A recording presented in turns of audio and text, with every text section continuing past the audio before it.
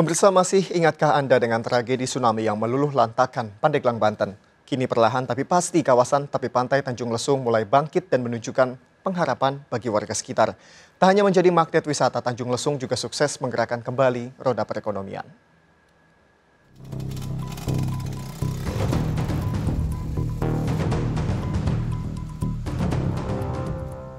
Masih ingatkah Anda dengan kawasan wisata Tanjung Lesung, Pandeglang, Banten yang luluh lantak akibat tsunami akhir Desember lalu? Ombak setinggi 8 meter yang menghantam wilayah pesisir pantai akibat aktivitas anak gunung Krakatau mengakibatkan 437 orang meninggal dunia dan lebih dari 1.400 orang luka-luka. Puluhan ribu warga bahkan terpaksa kehilangan tempat tinggal dan diungsikan ke lokasi penampungan sambil mendapatkan penyembuhan luka trauma akibat pilu tsunami. Kini dua bulan pasca bencana tsunami Selat Sunda, kawasan wisata Pantai Tanjung Lesung perlahan mulai bangkit kembali. Seakan telah sembuh dari luka, segala bentuk trauma pun perlahan sirna.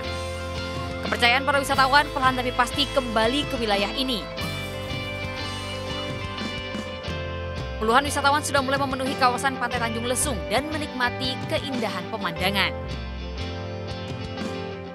untuk uh, daerahnya juga di sekitar sini uh, masih kelihatan kelihatan tidak ada apa-apa sih normal-normal aja. Kalau pantainya sekarang juga uh, kelihatan tenang sih.